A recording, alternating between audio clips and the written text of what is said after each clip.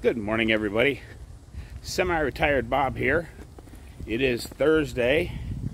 This is the 8th, which means this is the 8th day of the September 1% challenge. Going out to get my walk in. It's just about noon, so I did a little better job of getting up today than I did yesterday, but still not doing great at that. I actually have to set an alarm tomorrow because my labs are at 8.15 in the morning. I hope I don't oversleep and miss it and have to reschedule because that means I'll get stuck in Omaha for another couple, three weeks. Because it just takes a while to get a doctor's appointment these days. I don't know if some doctors have gone out of business or more people are going to the doctor. I don't know what the, the cause is, but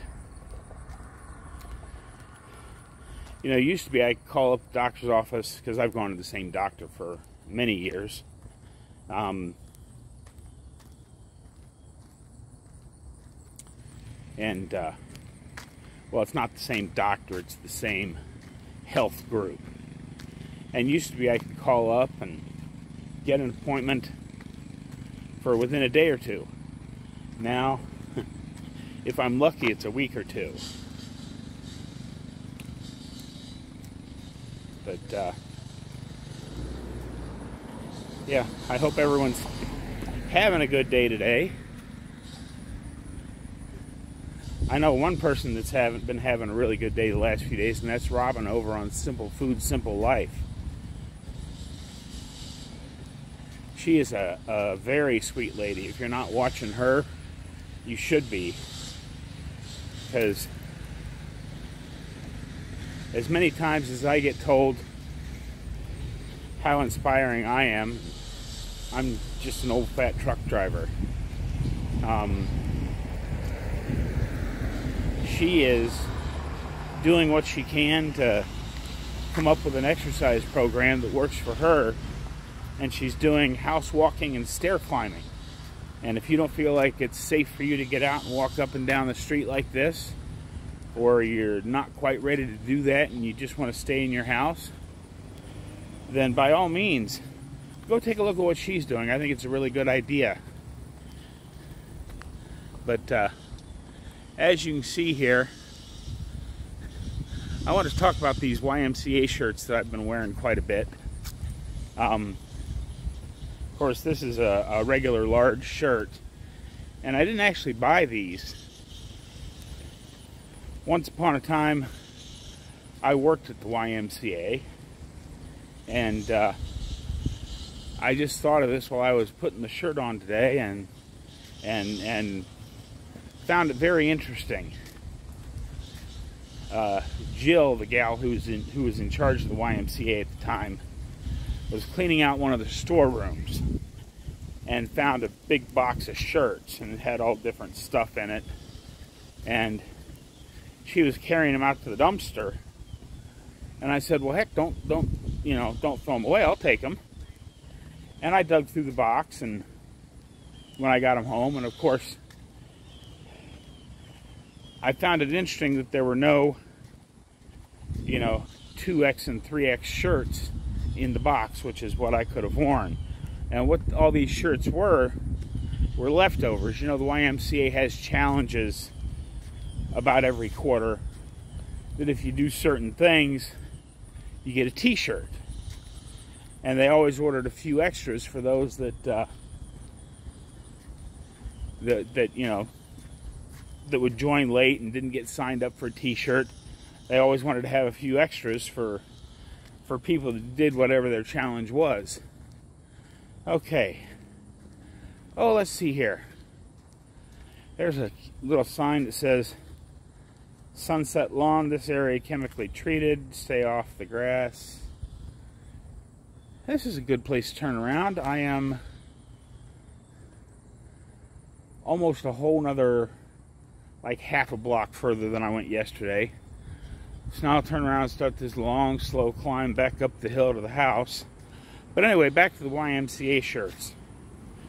I found it interesting that the box of extra shirts were all mediums and larges because they never had anybody that was uh, that wasn't signed up of that size to take an extra shirt. But all the 1X and 2X and 3Xs, they never had any extras of. Which leads me to come to a, um, a mini thought that says perhaps going to a gym is not the best way to lose weight. I'm sure it helps. In fact, I'm positive it does help in getting you more fit and helping you build lean muscle, helping you look better and feel better. All that is true. But the actual weight loss, well, if it actually helped you lose weight, wouldn't they have had 1X and 2X shirts left over instead of mediums and larges? But anyway, being the pack rat that I am, I was digging through my basement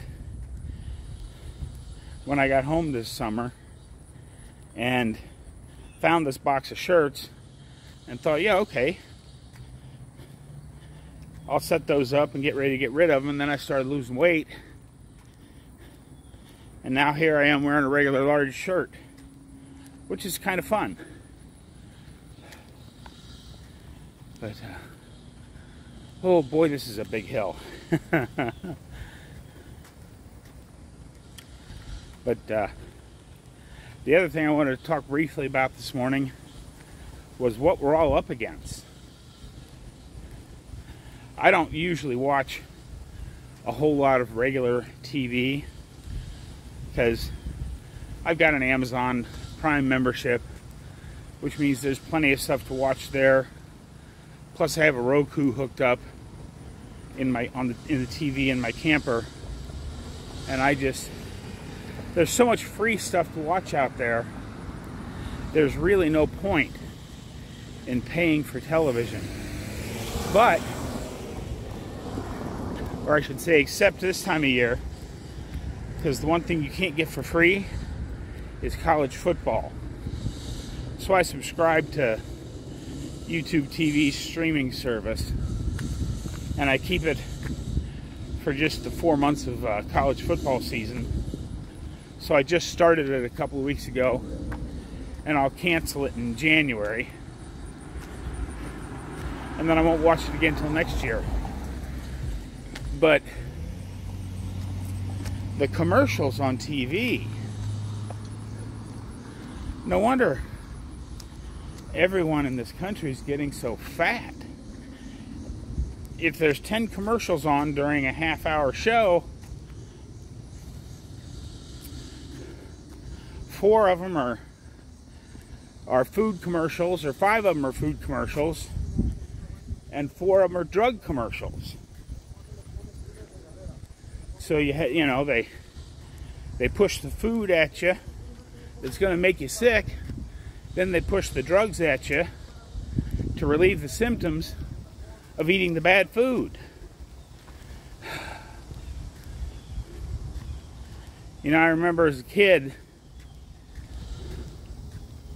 kind of cringing a little bit inside because, you know, I was a kid. Every time feminine hygiene commercials came on. And now it's almost like a relief because I don't have to watch another food or drug commercial. Of course, I usually don't watch a whole lot of commercials. I usually use that opportunity to get up and move a little bit. Oh, but that was a pretty good walk. I'll have to check on my pedometer how far I actually went but the numbers have actually been going up about 15% today. So I'm doing quite a bit more than 1%, but 1% is where it's at. Um, oh no, yesterday's was uh, right at 10%. Or was it? I don't know. I know the numbers are going up every day, and I started off just walking down to the corner and back, which was like 230 steps. And yesterday's step total was 800 and something. And if I'd just jumped right in and gone that 800 and some steps, I'm not sure if I'd have made it or not. I don't know. But anyway, that's my walk for today. I hope everyone has a great day. Get outside, enjoy the weather if you can, and we'll see you tomorrow.